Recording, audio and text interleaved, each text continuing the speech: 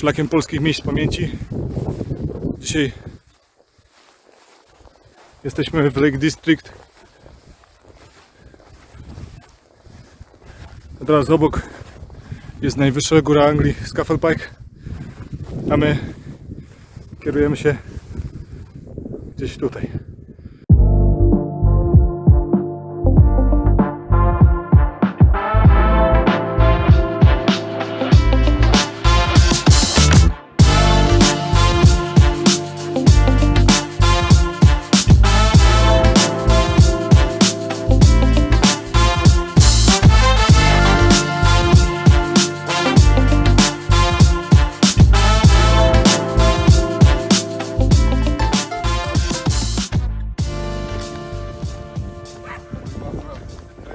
Zaraz będzie ładna pogoda, nie?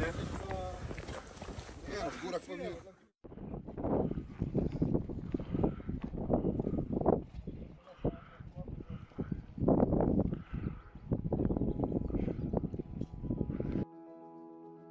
Dwunastego sierpnia 1941 roku sierżant pilot Stanisław Karubin wraz z uczniem podporucznikiem pilotem Zygmuntem Hochne, lecąc samolotami Hawker Hurricane podczas przechodzenia przez burzowe chmury, których podstawa leżała na szczytach gór, rozbili się o wzgórze w Lake District, nieopodal najwyższej góry w Anglii, Scuffle Pike.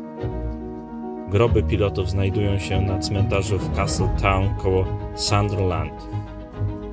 Stanisław Karobin walczył w bitwie o Anglię 303 Dywizjonie oraz jest jednym z bohaterów książki Arkadego Fiedlera Dywizjon 303.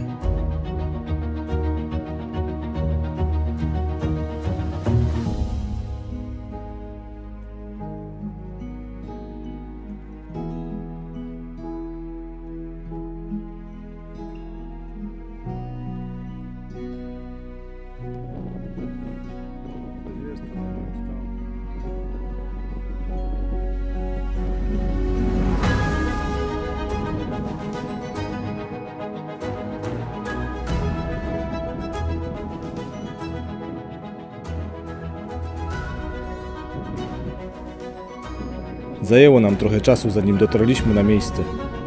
Pogoda jak widać znośna, ale silny wiatr wcale nie pomagał wędrówce.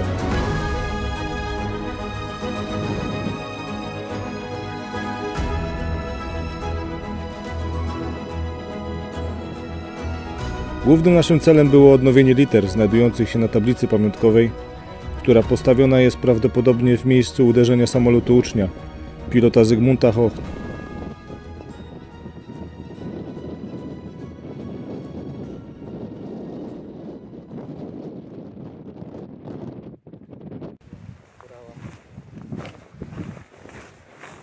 Porozrzucane części po, po całym wzgórzu.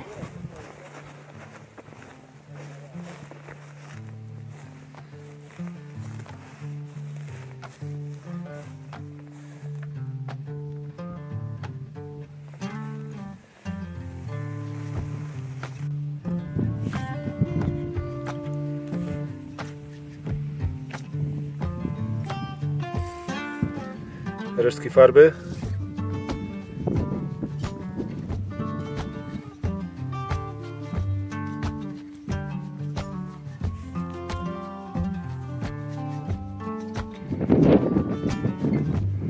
Tego co tam gdzieś wyczytałem kiedyś, to jeden z tych samolotów uderzył wyżej, drugi niżej.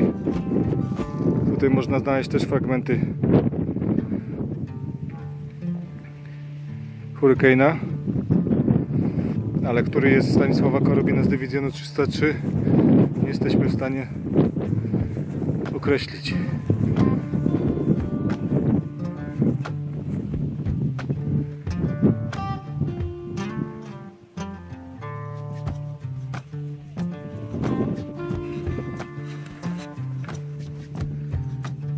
Tutaj, tutaj Marcin coś znalazł. Sprawdziliśmy dużą część wzgórza w okolicy Krzyża, aby ustalić, w którym miejscu dokładnie rozbił się drugi samolot. Niestety małe fragmenty wiatr rozrzuca po okolicy, a z dużych bardzo cię- ciężko wywnioskować, z którego były samolotu.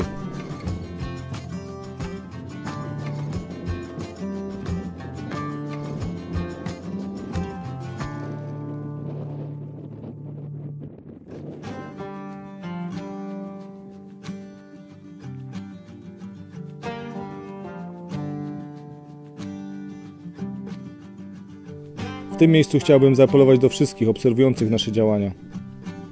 Do tych, którzy obserwują naszą stronę na Facebooku i oraz do tych, którzy korzystają z naszej mapy podczas podróży czy wakacyjnych wędrówek. Jeśli macie ochotę wesprzeć Polskie Miejsca Pamięci, to w opisie filmu znajdziecie wszelkie informacje, jak to zrobić.